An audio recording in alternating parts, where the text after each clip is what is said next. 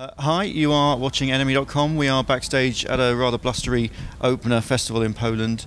Uh, we are here with MØ, or as the, us uh, mispronouncing uh, UK audience might know it, Mo. Um, so, how's your festival season been so far?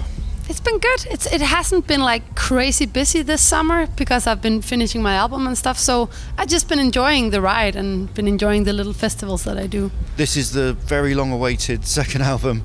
That's I know. been four yes. years in the It- making. oh my god, four and a half. What's so been What's been the hold-up? What's the, what's the latest?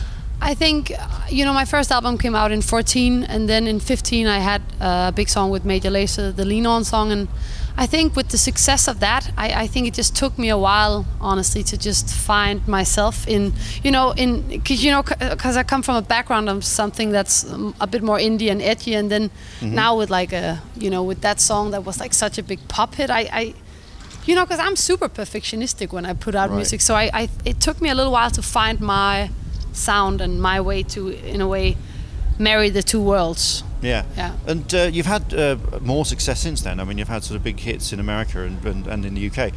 Did that change things in terms of the sort of record sort of record you wanted to make? I mean, are you officially big in America now?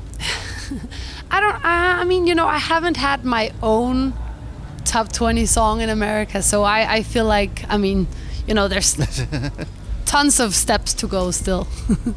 And have you got anything big planned for today?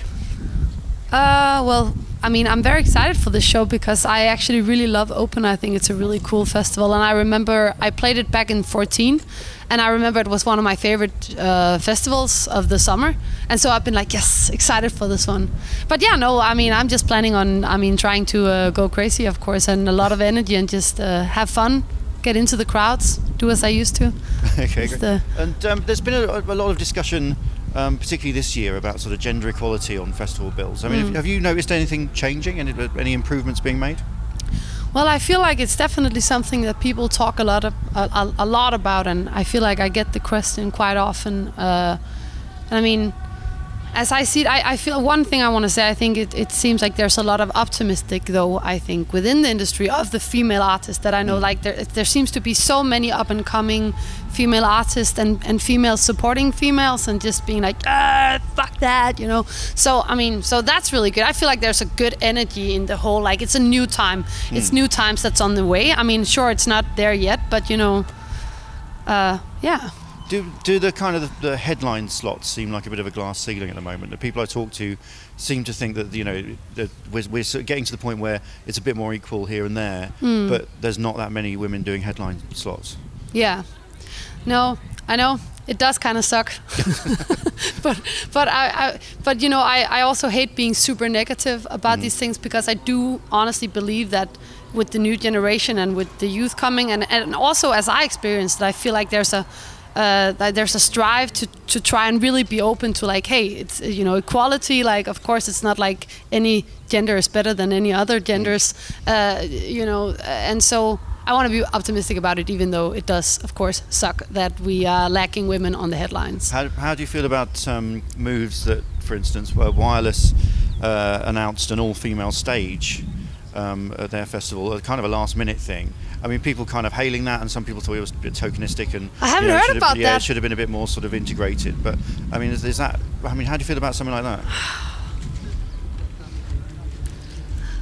I don't. It's it's tricky. It's, it's always it's I think it isn't is tricky because again, I also always have this thing of like you know every time I get the question, how do you feel about being a woman in the industry?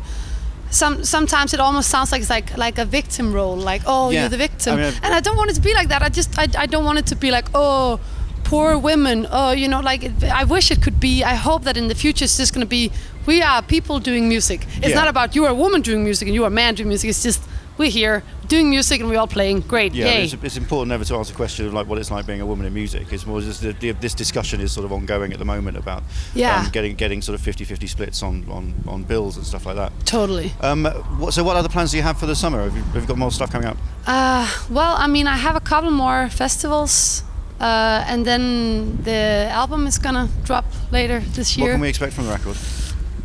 well, it's personal and uh, and uh, it's a mix of pop and a mix of some of my old sounds a little bit, and then I don't know, you know, within these last five years, I have changed, and music have changed, and the people I've been working with have changed. So it's gonna be different.